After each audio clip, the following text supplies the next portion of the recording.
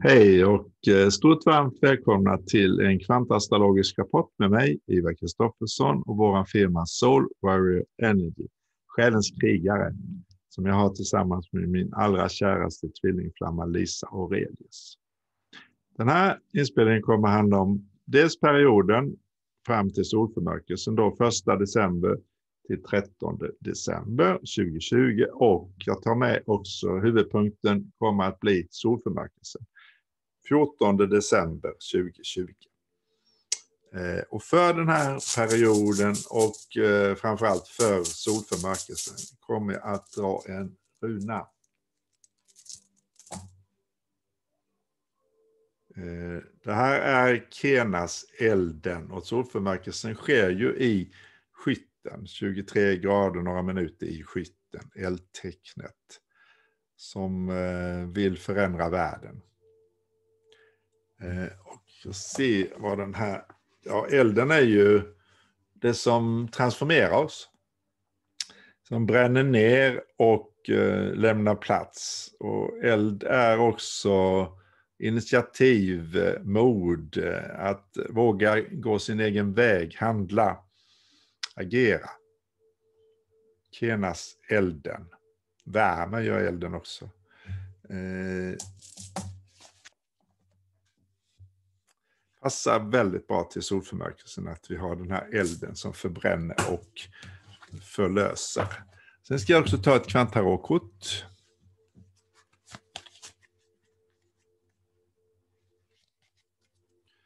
Och detta blir då sex av eh,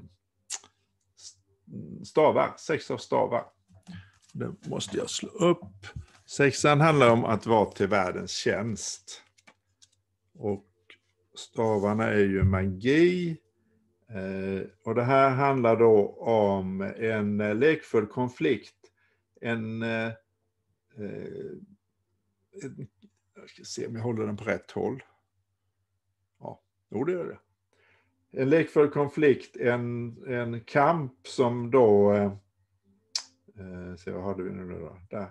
En kamp som är full av kreativa möjligheter. Vad för potentiell, potens, vad för potential finns det i den här konflikten? Ehm, det kan ju vara allt möjligt givetvis. Men eh, en konflikt vi har nu är mellan det nya och det gamla. Mellan vad vi hoppas på, vad vi drömmer om och vad vi har haft. Eh, och det är ju en fantastisk tid att eh, leva i. Och det är ingen slump att vi är här, för vi är ju stjärnfrön. Vi är här för att transformera den här världen. Från mörker till ljus. Från det yttersta mörkret, Kali yoga, till det stora ljus, ljuset, Sat yoga. Genom kvantsprång, genom den förändring och vägen går inom oss. Och en del källor anger den här 21 december när vintersolståndet är och när Jupiter möter Saturnus 0 grader i Vattumannen. Som jag kommer ha en egen inspelning om eh, inom ett tag. Ganska, ja, det blir en egen inspelning för den. Absolut, en, en, en enorm händelse här 21 december. En del källor anser då att det här är början på satt yoga. Och det kan enligt min ja, känsla så absolut Uh, nu är det så att det här med tid är ju så relativt, alltså precis när Saturnus möter uh, Jupiter kommer inte saker och ting att uppenbara sig, även om vi mediterar sådär för alla människor. Vi stiger in i den här nya uh, tiden vid lite olika tidpunkter i linjär tid. Men det här är en sån enorm förändring och vi tänker tillbaka på det här året så började det ju med en enorm fantastisk klang festivalkrasch när eh, Saturnus mötte Pluto 12 december. Och om man säger 12, nej förlåt, 12, 12 januari givetvis, 12 januari. Och då kan man välja, på, vända på 12 så får man 21 december då, årets sista månad och eh, vintersolståndet. Då möts Jupiter och eh, Saturnus de här giganterna när de möts ger mycket stora kollektiva förändringar, speciellt när vi nu ljusarbetare är här och eldar på. Pandemin har vi haft detta året, världen är sig inte lik och den kommer inte eh, att bli sig lik eh, fortsättningsvis heller. Och eh, det är jag i alla fall väldigt, väldigt tacksam för att vi nu kan eh, leva och börja leva på ett helt annat sätt än det som har varit. Eh, jag ska först ta den här perioden lite kort. Eh, den första december så går Merkurius in i skytten, lämnar skorpionen. Merkurius är ju kommunikation, tankar och vi kommer inte vara så fokuserade då på att gå på djupet kring känslor. Utan vi kommer vara mera intresserade av den här eh, sanningen kring våra värderingar. Vår, vad tror vi på? Och elden som vill förändra. Vi, vi vill bli världsförbättrare. Eh, och Merkurius trivs ju ypperligt i skytten, i, i opposition till eh, tvillingarna som Merkurius styr. Eh, sen har vi lite grann här, eh, Venus är den 5 december i en hjälpsam trigon, kär, kärlek, nej Merkurius är det, en hjälpsam trigon. Och då kan det hel, med Kiron. Och då kan du hela dina eh, tankar och din kommunikation, den mentala sidan, mer. Och överhuvudtaget så är Merkurius väldigt stark i den här perioden. December 2020. Sen har vi den sjätte eh, eh, december så har vi Venus i en trigon med Neptunus. Och Neptunus är ett övre, högst, högre oktaven av Venus. Och Venus är den feminina energin, kärlek, och Neptunus är allomfattande kärleken. Eh, så det är en mycket, mycket bra aspekt för att kunna handskas med den här nuvarande situationen. Och de här som jag läser upp nu pågår ju under ganska lång tid före och efter. Och de yttre eh, as, plan, aspekter med de yttre planeterna pågår en väldigt lång tid före och efter. Eh, sen har vi 9-12, solen i kvadratur med Neptunus. Och då har vi ju den här livskraften, livsenergin, solen som träffar på källan Neptunus. Och då är, då, är det då eh, eh skytten mot eh, vattnet i fiskarna. Och en kvadratur är ju en utmaning då och här kan det vara då att Eh, det väcks upp saker och ting som du har trott på, som kanske inte är sanna, lögner, illusioner. Det kan handla om dina drömmar som behöver tas på allvar. Eh, det kan handla om att din, din livsenergi behöver fokuseras på enhet, på källan. Eh, och det är ju så att vatten släcker ju eld, så att det här är en balans här. Om man nu säger att eh, fiskarna är eld där Neptunus ligger. Eh, det är väl lite tveksamt. Det är ju den allomfattande alltet, typ. Eh, sen har vi 10 december, Venus i en lättsam sextil med Pluto, men Pluto kanske aldrig är lättsam på ett vis, för det är ju den fantastiska transformatören. Så att här är det nya tag då Venus är i skorpionen, nya tag att saker och ting som kommer upp behöver eh, förändras, läkas och kunna lämnas. Och det är ett tema också för den här solförmörkelsen. Tolfte i tolfte så hade vi något intressant och det är Mars i kvadratur till noderna. Eh, en mycket stark pågående aspekt som pågår eh, ja, några veckor före och några veckor efter här. Mars rör sig sakta fortfarande efter den här eh, Eh, att den vände nyligen från retrograd till direkt. Och här är det din maskulina energi i, i eh, väduren, vill ju rusa framåt, men noderna säger, säger till Mars att eh, tänk efter, vad lärde du dig på den här retrograda eh, tiden? Eh, om du nu lärde dig någonting, det gjorde du säkert. Eh, vad är det som du är på väg emot? Vilket är ditt mål? Sen har vi då solförmörkelsen 14 som jag kommer till strax. Och eh, vi har också den, eh, eh som jag tar aspekter kring, där vi, vi har den 15 ju, att Kiron går direkt. Helaren Kiron i början på väduren vänder och blir i framåtrörelse, en mer utåtriktad energi. Och då kommer bara Uranus vara kvar som retrograd och den vänder i, i januari här, 11 någonting sånt där. Ja, eh, mycket energi och framförallt då solförmörkelsen.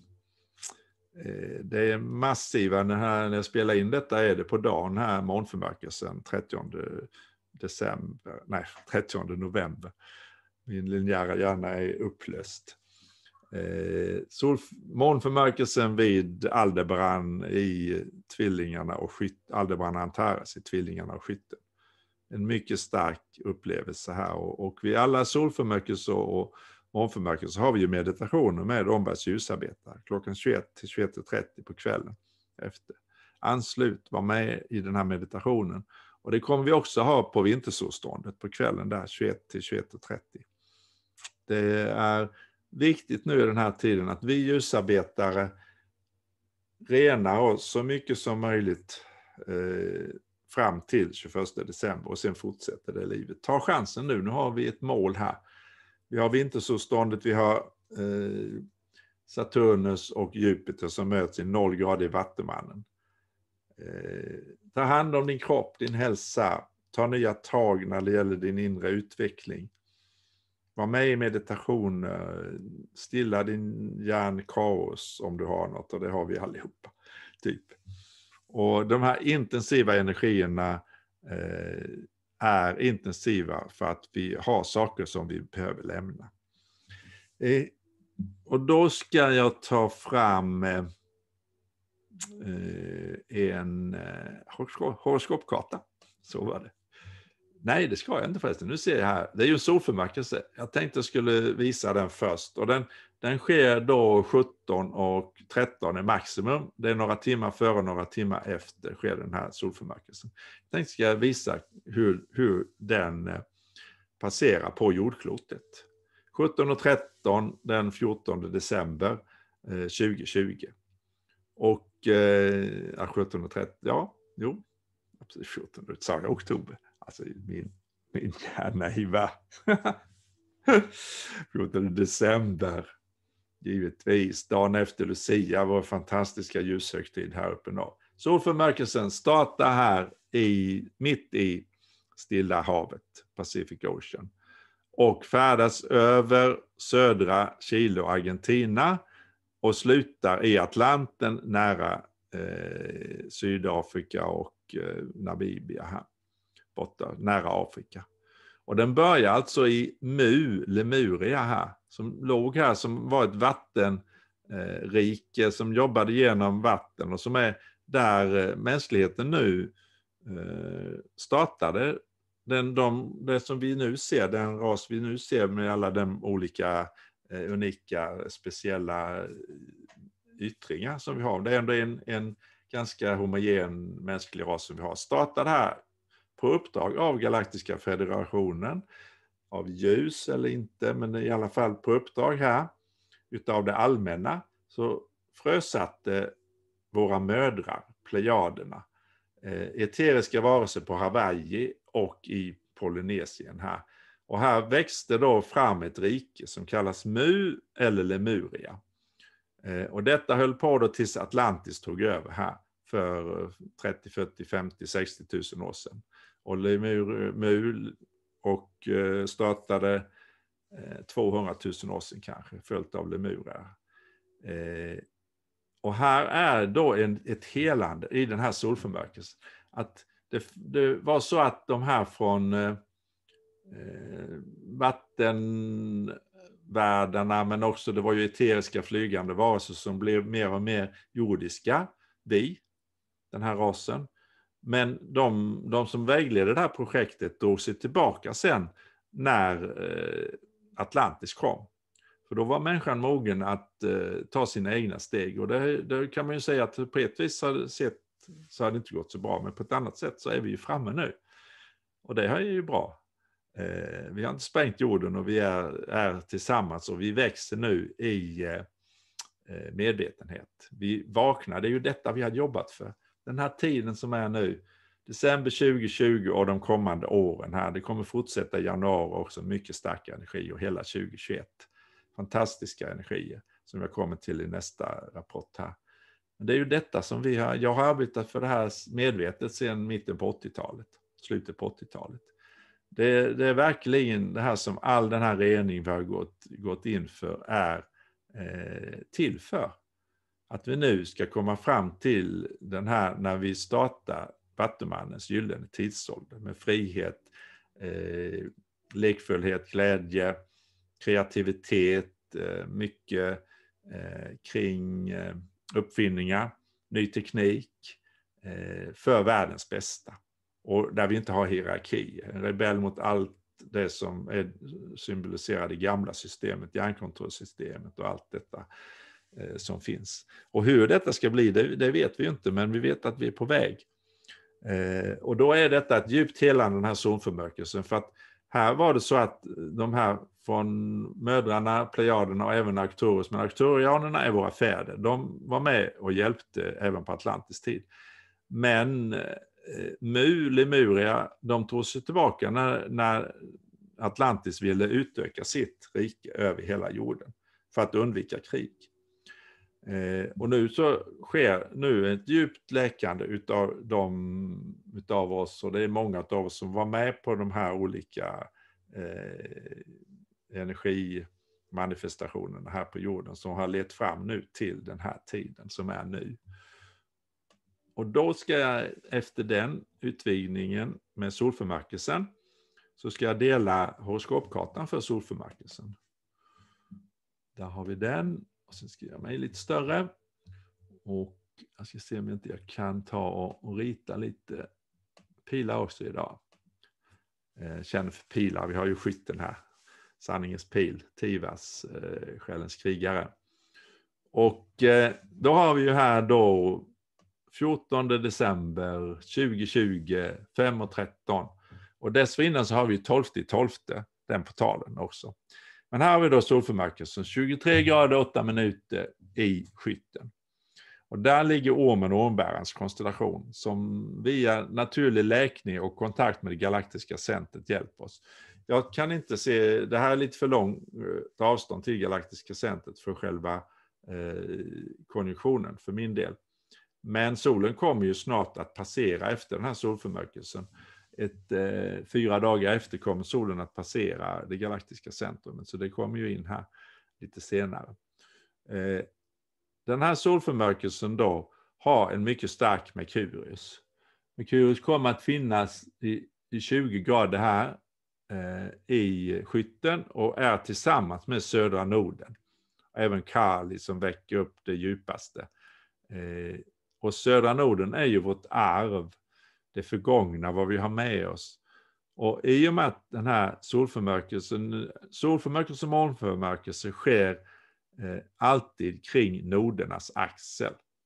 Det är för att eh, annars kommer inte skuggan hamna på månen eller, eller jorden. Eh, och här är det väldigt, vid månförmörkelsen som vi hade då 30 november så var eh, solen ganska, och solen, nej månen då var ganska långt från norra Norden. Den var 11 grader ifrån. Eh, men här är det ju nära nu, det är alltså en konjunktion kallar vi det med astrologispråk. De är tillsammans, energierna sammanfaller. Och då är Merkurius här också och hjälper till där med södra Norden. Och det här ger den här solförmörkelsen en, en annan tolkning som jag ser det än en vanlig nymåne. Det är ju en nymåne då, de träffar solen och månen och det kvinnliga manliga. Och det är då en ny start, nya intentioner, allt detta. Och det gäller nu också. Men i och med att det sker i skytten och framförallt att det sker vid södra Norden så är det här då en ny start i att lämna det gamla. Eh, jag skrattar lite för det har vi ju hållit på med hur länge som helst. Men det, det, tiden är mogen nu för att stiga in i helt nya medvetandenivåer. Det är skytten. Vad tror du på? Vad är det som formar din verklighet? Eh, och den här, den här solförmörkelsen lyfter upp detta väldigt mycket kring de eh, trossystem du har i dig. Är du fortfarande kvar i den gamla världen, det linjära tänkandet och så vidare och eh, eh, brist, rädsla och så vidare. Eller har du vågat stiga in i den nya elden, det positiva? Skytten är ett väldigt positivt tecken. Det vill framåt, det vill förändra. Det är ett galaktiskt tecken. Det är ett kollektivt, för det första kollektiva tecknet eh, i zodiaken. Eh, efter vågen och eh, heter det, skorpionen som är relationstecken. Skytten vill verkligen veta, vill ha fram sanningen och vill göra det eh, världsomfattande internationell, den vill sprida, den, den är, är elden som, som verkligen lyser upp, det är det sista eldtecknet. Det är den avgörande förbränningen av det gamla och den här solförmörkelsen är just det. Den, den, slutgiltiga, fast vi kommer kanske fortsätta, men på ett vis den slutgiltiga optimala förbränningen utav det gamla systemet i dig. När du vågar se saker och ting för vad de är. Och det måste du gå din egen väg, bilda din egen uppfattning, ta reda på saker och ting och allt det där. Men många av ni som lyssnar har verkligen gjort det. Ni är ljusarbetare, ni är här för den här tiden. Vi är här tillsammans för att landa ljuset på jorden och det gör vi med kärlek och det gör vi genom att integrera mörker och ljus. Att inte skjuta ifrån oss, det är inte vi och dem längre, det är inte några elaka där och några snälla här, några goda där, några guru där och så vidare.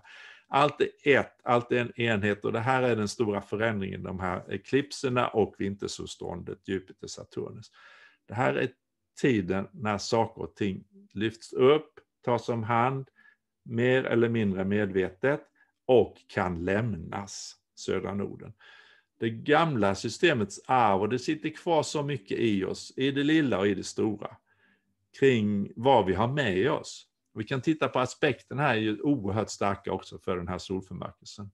Vi har ju då en, kvadrat, en trigon förlåt, till Mars som driver på här, vill ha fram sanningen, vill veta. Och Mars är vid Eris, som är en, en revoltör liksom Uranus, som verkligen bryter upp det så kallat normala samhället så att vi förstår vad är det för system vi lever i. Eh, och Mass eldar på här och eh, som bara den. Eh, har fått börja få upp ångan nu.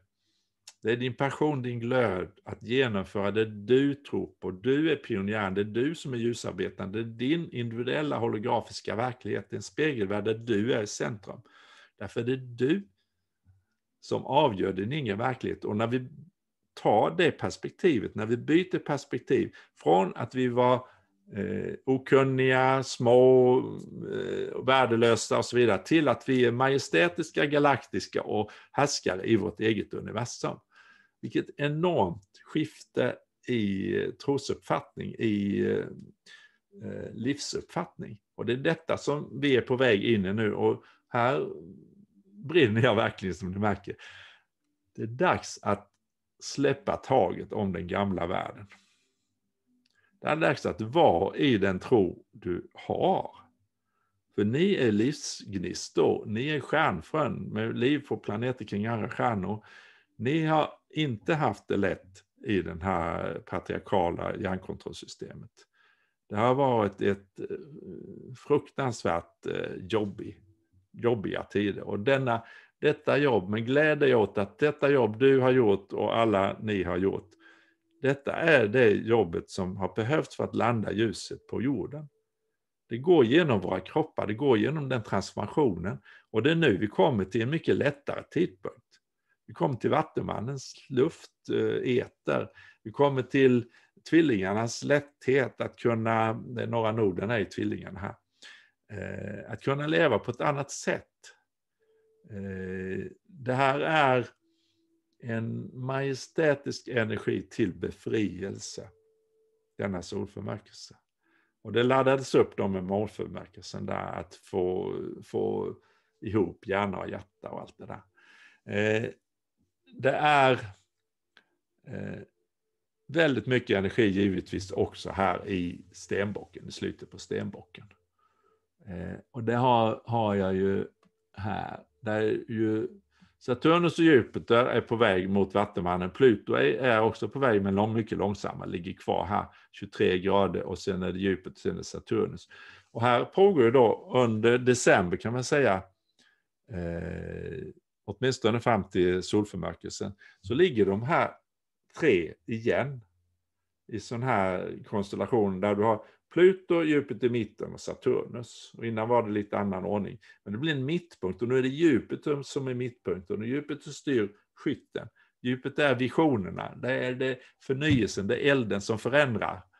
Eh, och Saturnus är då den gamla holografiska verkligheten, men det är också ansvar, det är karma och allt detta. Och Pluto är transformatören som förändrar allting, söker eh, livets källa. Och för oss personligen Eh, så innebär det väldigt stora förändringar. Eh, och här i det här eh, är det, i, i det här horoskopet så är det kring relationer för solförmörkelsen här som är på gång att transformera dina relationer. Och själva solförmörkelsen är vid i sjätte huset, alltså kropp, hälsa, vibration, jag kunde nästan gissat det faktiskt.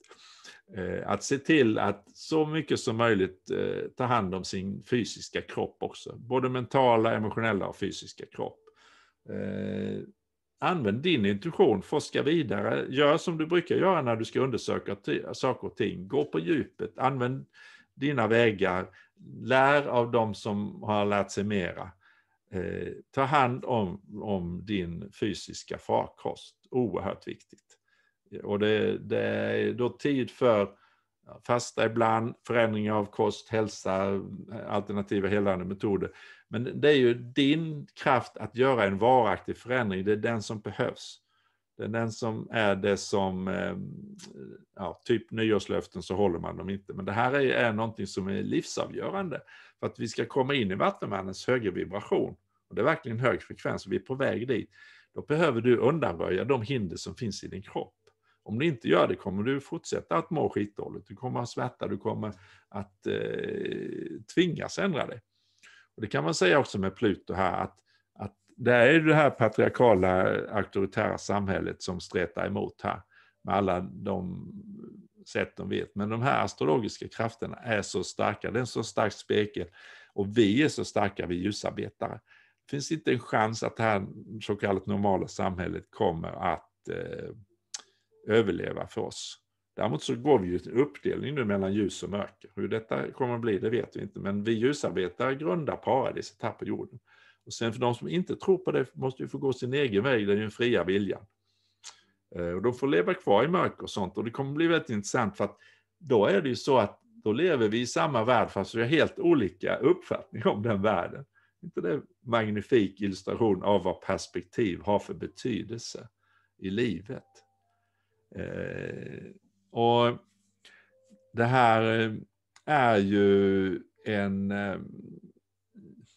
ja, det är vad vi har längtat efter. Och sen att det blev lite jobbigare än vad vi har tänkt oss, det är ju så med livet. Vi, vi är ju kvar i det här, ja i alla fall ibland, att man är överoptimistisk. Sådär. Men på ett vis, eh, var tacksam för allt det du har gått igenom, för det ger ju dig en helt annan bas du har ju nu en grund i dig, du är klippan, du är nu det som huset kan byggas på. Och för den här solförmärkelsen så finns det sabiansymbol eh, som kommer från en bok så här. Ett medium i, i USA som gjorde Elsie Wheeler. Och sabiansymbolen för den här solförmörkelsen låter så här då. Eh, A bluebird standing at the door of the house.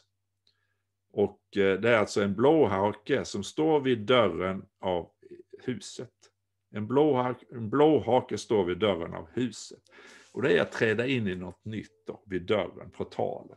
Det är ju fullt med portaler. Hela de här mån, solförmörkelse, 12 12 och sen då 21 12 är portaler till det nya. Och vad är då blåhaken för någonting? Då fick jag leta reda på den här boken, eh, Solögas, djurens språk, det står, där nere står det. Den är mycket bra förresten, kan varmt rekommenderas. Eh, och då tar vi blåhaken. Och då står det så här. Målet avgör riktningen. Min gåva till dig är att ha rätt riktning. Målet avgör riktningen. Min gåva till dig är att ha rätt riktning. Och så står det en tolkning. Här gäller det att ha rätt fokus från början. Ha målet i sikte och arbeta dig fram steg för steg.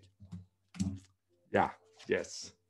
Och då är ju målet att vi ska leva, för mig i alla fall, vi ska leva i en helt annan värld.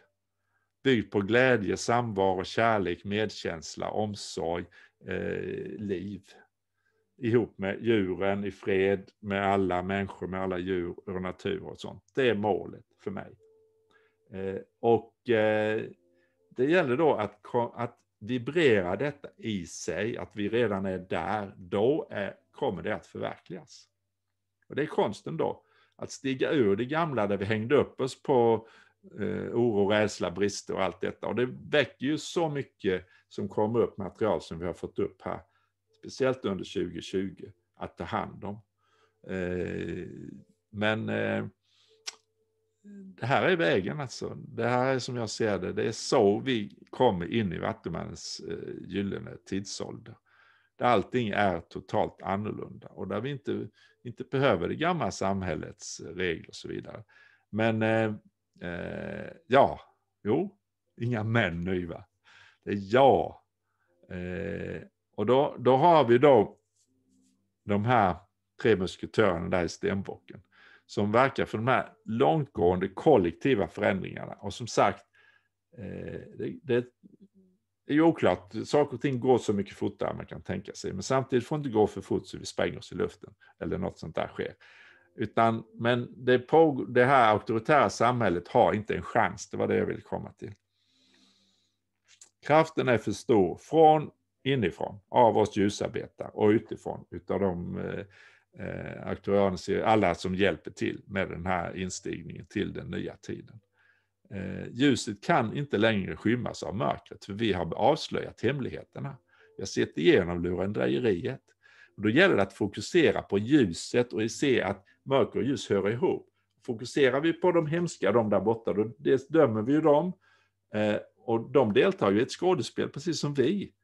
Eh, vi behöver få verkligen fokus på ljuset och att naturligt kunna ta hand om mörkret som är i oss. För allt mörker som jag ser det numera är i dig.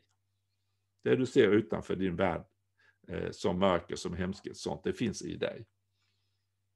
Och det här är ganska extremt, men jag tycker det leder till så bra slutledning när man, när man eh, fullföljer dem för att det du kan påverka i ditt liv, det är ditt inre, det är din vibration, hur du lever. Du kan inte påverka samhället, du kan inte påverka de här organisationerna, men du gör den här påverkan så stark genom din inre vibration.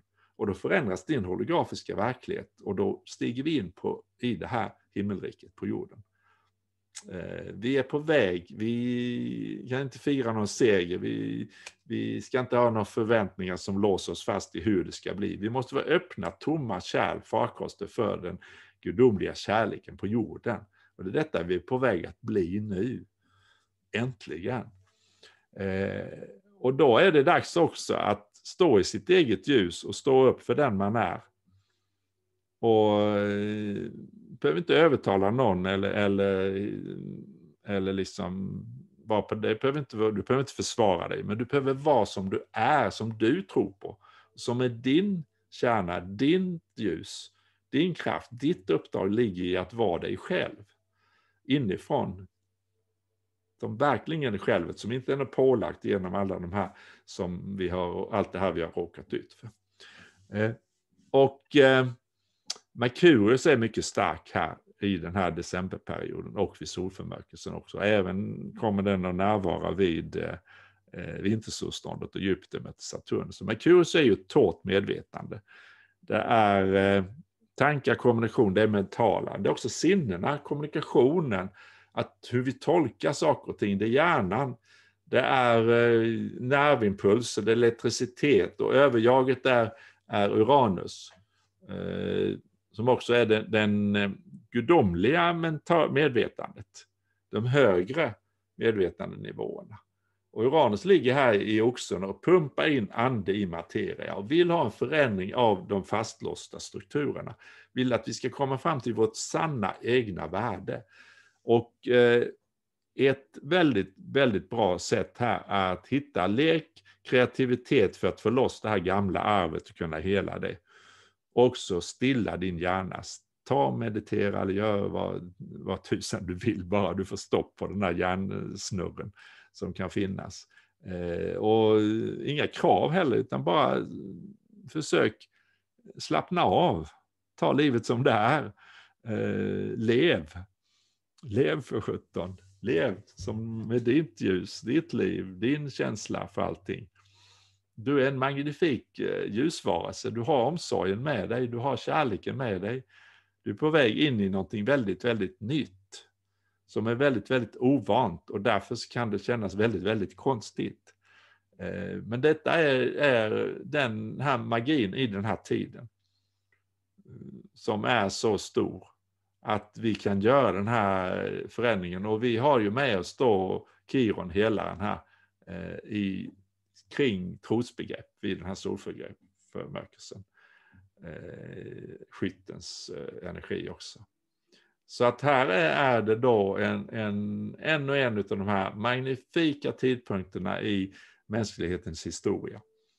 Den här solförmörkelsen 14-12. Det är så stark energi, det är så stark förändringsenergi. Och det banar väg för det nya som är här nu och som kommer ännu mer då 21-12. Och eh, se om det är något jag har glömt i den här eh, inspelningen här. Eh, ja, man kan säga så här. Eh, att eh, nymånen i eh, Skorpionen eh, startade upp eklipssäsongen eh, och eh, förde upp material. Sen har vi månförmörkelsen i vid Aldebaran här Antares i Tvillingarna 30 november som expanderade ditt medvetande till att bli galaktisk, en portal till stjärnorna för att du ska förstå att det finns ett annat liv, det finns en överblick där du kan förstå att här på jorden så gör ni arbetet för att nå ljuset. Eh, och samtidigt då så är det den här eh, tvillingenergin som vill komma fram, som är luft. Och tvillingarna är, den, är det första, det enda personliga lufttecknet, det är det första lufttecknet och enda personliga. För att Eh, vågen är ju kollektivt lufttecken och vattenmannen kallas luft men är mera eten, kommunikationen i, i det här som vetenskapen säger vakuum.